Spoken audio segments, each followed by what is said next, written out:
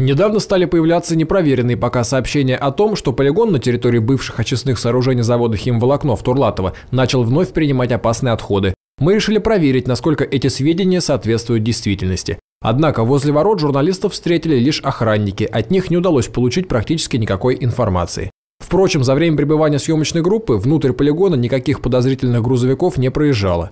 Напомним, что 16 июля прошлого года Октябрьский районный суд аннулировал лицензию фирмы ООО «Вест», ранее управлявшей полигоном отходов на очистных сооружениях бывшего завода «Химволокно».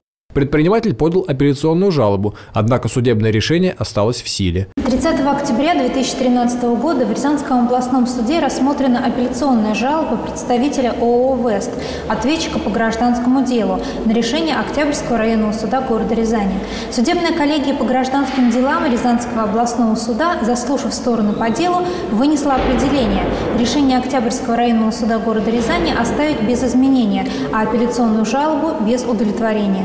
Сейчас работники Октябрьской прокуратуры проводят проверку по факту выдачи разрешения, а именно санитарно-эпидемиологического заключения фирме, работающей на полигоне. Вместе с тем, в соответствии с информацией, поступившей в прокуратуру района, в настоящее время выдано разрешение а именно санитарно-эпидемиологические заключения на осуществление деятельности по обращению с отходами по данному адресу.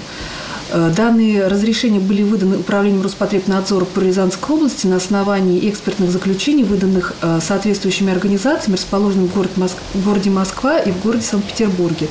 В связи с чем в настоящее время прокуратура района проводится проверка.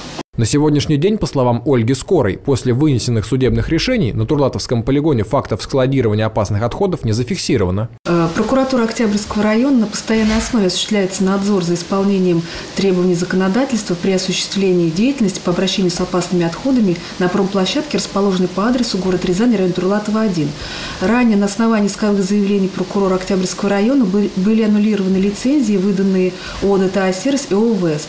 После того, как лицензии были аннулированы, прокуратуры проводились проверки, и фактов размещения опасных отходов после вступления решений в законную силу установлено не было. Мы будем отслеживать ситуацию и о любых изменениях сообщать в эфире.